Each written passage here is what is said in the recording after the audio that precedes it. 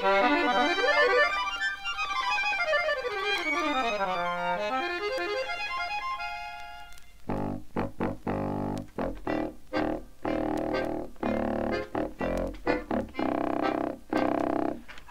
does a frog become a frog? Squatting on a bump on a log. Oh.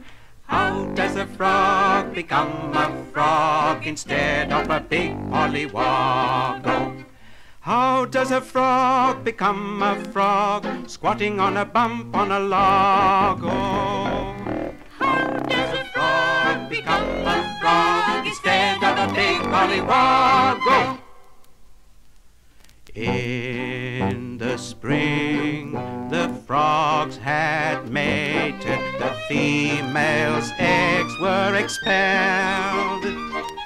Then the male frog fertilized the eggs and said farewell.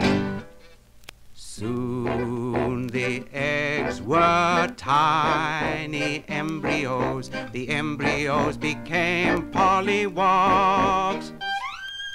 They had gills, had gills until they grew up into frogs. That's becomes a frog, squatting on a bump on a log.